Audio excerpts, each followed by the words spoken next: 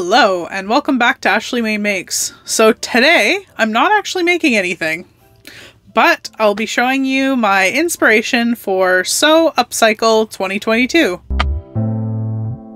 Now, this is the first year this challenge is running. It was put together by Becky from uh, Notes from the Sewing Room and Karen from Sew Little Time. And this is part of a larger blog tour. So you'll see there's a bunch of other sewing people that you already know and probably like if you watch this channel. I'll leave all the ones participating up below to give you lots of ideas. The essence of this challenge is to make a garment out of non-new material. So you can use anything you like, tablecloths, sheets, towels, whatever, old garments, and make them into something new for a human. No pets. Uh, we are all going to be sharing our makes on October 31st, i.e., Halloween here in North America. And so you can have a look at the hashtag at that time to see all the glorious makes. So, personally, I haven't done a lot of upcycling in the past. Being plus size, I think it makes it a bit more challenging. Um, I know a lot of people that do upcycling like this, they're smaller, they would use garments that maybe are my size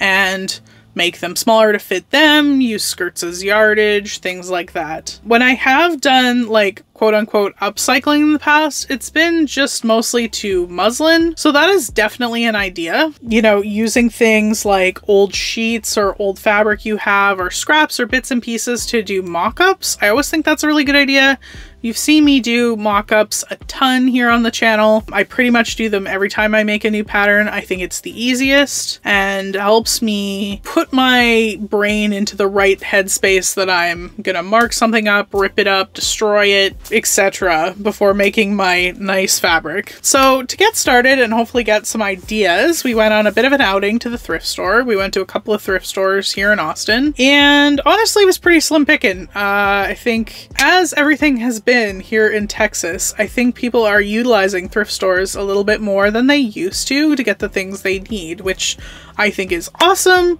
I have no issues with that, um, but it did mean that there was not a lot of stuff for this project. That being said though, I did just upgrade to my brand new mic that I did get at the thrift store, which I am exceptionally excited about. So let me know how the audio quality is in this video. Obviously someone gave up on their podcasting dreams, and this is honestly the best thing I've ever found at the thrift store. Other than that, sort of struck out a little bit on the fabric front. I did, however, get this sheet. Um, this was one of the few that weren't like, I would say, where the material itself was compromised, like worn and had been used or was starting to pill, things like that. Um, so that's something to look at if you were going to make like an actual garment out of. Again, not a bad thing for muslin.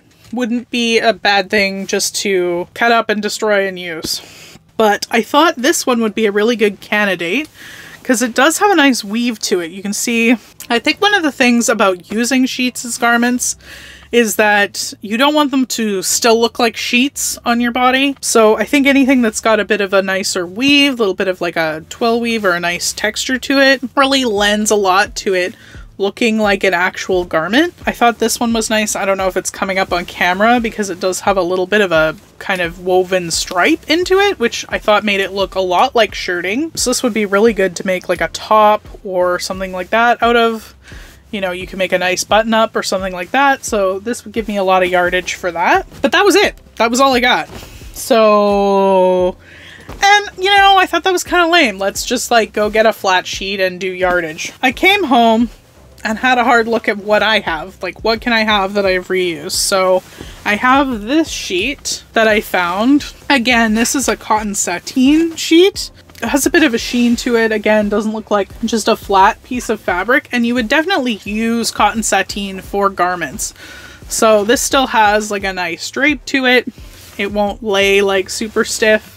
I actually think sheets like this are really good candidates to use as yardage. Honestly, both of these sheet ideas, as nice as they are, and I'm probably going to use them as actual garments. I do have some like cogs turning, wheels turning on things I could do with these. Um, you know, wearable toiles, which I don't generally do. That being said, I thought this was kind of, you know, this is the obvious answer. Go get yourself a beautiful sheet and make something new out of it.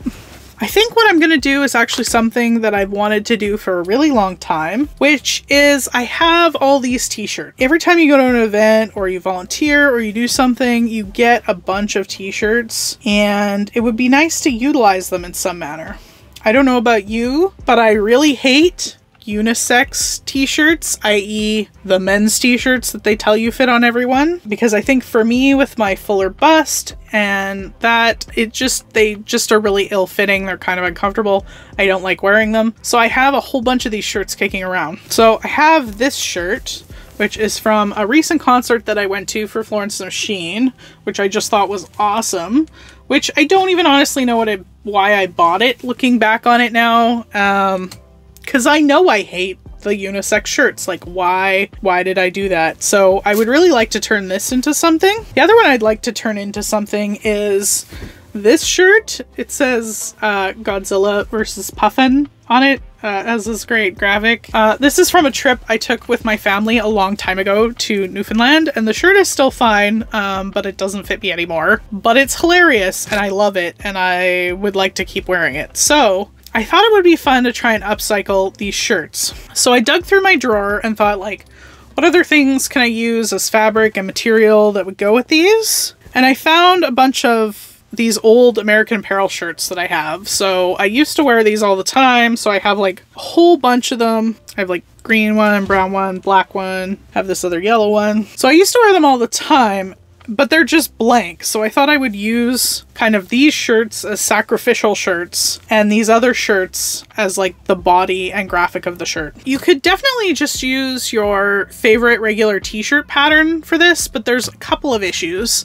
So, issue number one being that I find the great majority of sewing patterns for knits have a certain set stretch percentage because that's generally what's available in yardage. These shirts, obviously, because they're 100% cotton, they have like a little bit of stretch, but it's like mechanical stretch, so you don't have a lot to work with. So one of the things you have to look at is probably going up a couple of sizes so that your finished measurements are closer to what your actual body measurements are and that you don't have negative ease happening. The other issue with this is that most of these shirts, because they're for a atypical masculine figure, the graphic is pretty high up to where the neck is. And for people with a bust, generally the graphic needs to be quite a bit lower. So my solution to this is actually to use like a baseball tee, like something that's got a, oh my god, what do you call it? Raglan, raglan sleeve uh, you use something with a raglan sleeve so that you can pull the graphic more to where it needs to be and you don't have to worry about having extra material up here at the shoulder, like that longer shoulder piece that you would need. For me, I am going to try using the Cashmerette Stanway t-shirt. Um, this one is great because it has the full bust adjustment built in, so I think this is going to work a lot better for me because again, we're not relying on the stretch of the fabric as much. And I'm going to make a couple sizes larger. This is out of this book from Cashmerette called Ahead of the Curve. This is an awesome book. I'm not being paid or sponsored in any capacity, but it does have a lot of really good basic block patterns. I think this is kind of my other tip to you is to get a good few simple patterns that you really enjoy and that'll give you like lots of options and that'll prevent you from having to buy lots of different patterns. So that's less of like an upcycling thing and a more of a reduce thing. This has like five patterns in it for the price of the book and it has the paper in the back uh, but it does also come with the PDFs so that you can get these printed out. So what I did was I actually printed out like three different copies of the front so I could play around with like piecing it and cutting it, maybe doing some different fun things with it to utilize the fabric that I have.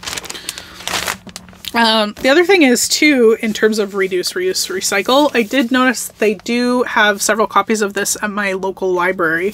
So I did buy this copy, I pre-ordered it, but that's another thing to look at is like utilize your library. I know here we have libraries that have things like embroidery machines. You could also like rent this and rent this book and make this without buying anything. You know, really, really make it inexpensive. So that's my other tip. Not that that's like upcycling, but that's like reducing. And that's what we're trying to do with our sewing practice, right? Is reduce our impact, you know, and have some fun doing it. So my hope is to use that Stanway shirt and I'm going to use this as the center of my shirt. And then I think what I'm going to do is take actually this yellow shirt as my sleeve. So hopefully I've got enough in the back and front here so that I can have that as the sleeve. I think that'll be really quite cute because it kind of brings out the color of the lettering in the graphic. I think the other thing I might have to do beyond that is I don't think I have quite enough room on the side for my bust, of course.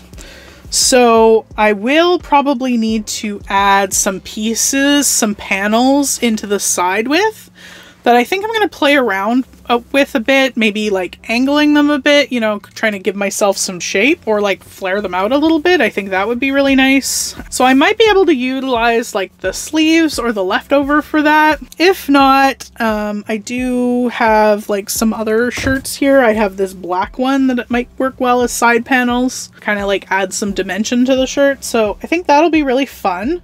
So I think that's going to be my first one. The second one I'm going to do is I really love this shirt and I really kind of like I want it to be like Florence the Machine. I want it to have like that flower child vibe to it because it's like, you know, we're going for it. So I really loved the Adrienne blouse from Friday Pattern Company. Um, but this one isn't actually in their full size range yet. So, and again, not as convenient as using that other Stanway t-shirt. So I think what I'm to do is maybe steal the sleeve for this if I've got enough room. Maybe make it a little bit shorter, like sort of elbow length and drapey. I'm probably not to like cinch it in with the elastic and then hopefully do kind of that lower flat neckline from this. So I'm going to kind of like borrow from this a little bit. The reason I'm not making this straight out is technically like I because I need to go up a couple sizes. This one doesn't go up large enough. And the other reason is again, I need that full bust adjustment. So I'm probably going to do a bit of hacking. We might do a little bit of sleeve hacking with this Stanway. And again, like I ordered like, you know, a couple three copies of this pattern um, so I could just like chop it up and not be afraid about it. So yeah, so we're we're gonna go with that. Um, I'm really really excited about doing this. I think if this works out, I might do it with a couple more shirts. But so let me know if you like this inspiration type video. I know it's a little bit different for me, and do let me know if you're gonna participate. Sew Upcycled 2022. Um, again, all the projects will be going up one week from today exactly on Instagram. And I think there will be a lot of really good ideas on there, as well as checking out all the vloggers that I listed before. And please subscribe if you'd like to stay tuned for the final projects if any of this sounded interesting or exciting to you. And thank you so much for watching. Bye, guys!